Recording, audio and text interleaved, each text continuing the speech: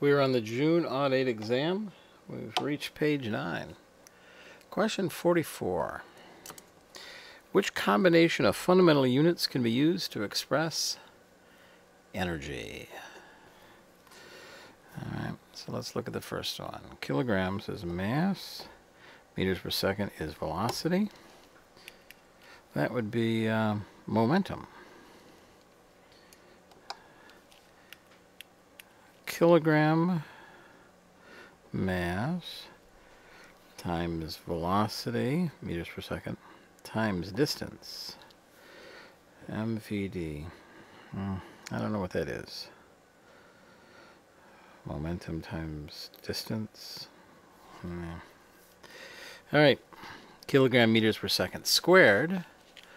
Well, that's mass times acceleration. That's force. And here we go. Kilogram meters per second squared times meters. Kilogram meters per second squared times meters. That'd be force times distance, which is work. And work and energy are the same units. Energy is the ability to do work.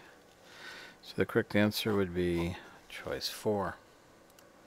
Question 45. An object is thrown vertically upward.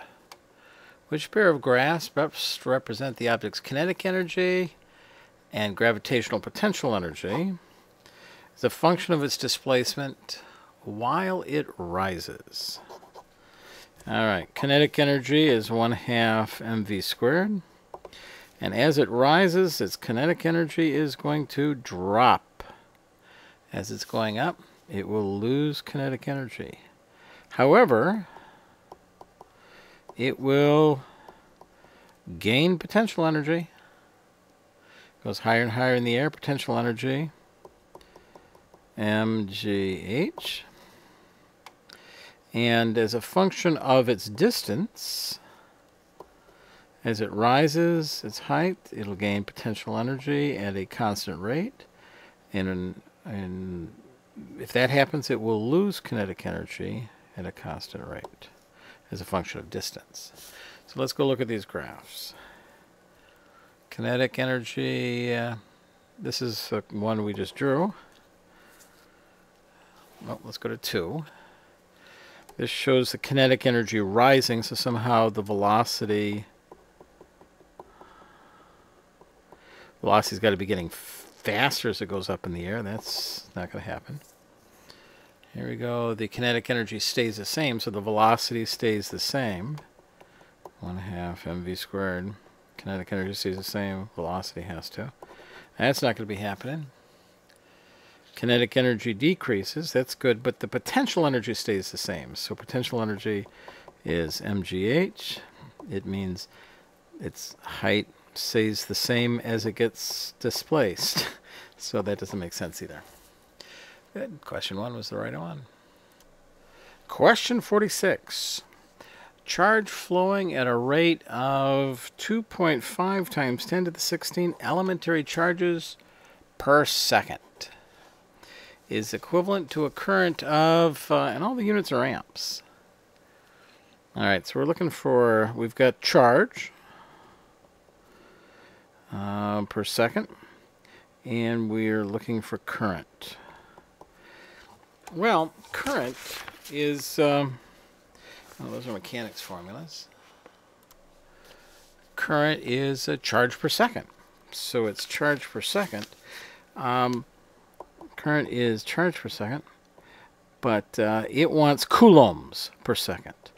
Coulombs per second is an amp. So somebody need to need to know the relationship between uh, elementary charges and coulombs.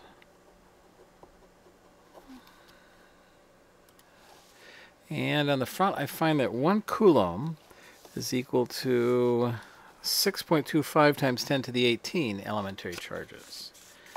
So I'm going to say one coulomb is 6.25 times 10 to the 18 elementary charges. And I've got 2.5 times 10 to the 16 elementary charges per second. So I multiply and then divide, and uh, elementary charges will cancel out. And I'll be left with coulombs. So let's come up with a number. When I divide in it with 0.004 coulombs per second, or 0.004 amps. And, um, well, I only have one answer. You have to use the exponent. It's got to be this one. It's the only one with a 4 in it. But in fact, it's 4 to the negative third, so that's 0.004 amps. So that was the correct answer. 47, electric drill operating at 120 volts draws a current of 3 amps, 3 coulombs per second. Was the total amount of electrical energy used in the drill for one minute of operation? So I'm going to say my voltage, breaking these tips. My voltage is 120 volts. My current is 3 amps, and my time is, ready? 60 seconds. I'm just going to go ahead and lay that in there. Um, amps is coulombs per second, and in order to have my units work, I've got to have my time in units of seconds. So, we're looking for electric energy, electric energy. And so, in electricity, work is electric energy. Work is power times time, voltage times current times time. I've got all those. Let's go and use that formula. Work. Work is voltage times current times time. So 120 volts times 3 amps times 60 seconds. Let's see. see, 3 times 60 is 180. 180 times uh, 120 is about 21,600. And uh, it's not that answer, it's not that. 21,600. 1, 2, 3, 4, 21, 600. That's answer. Choice 1.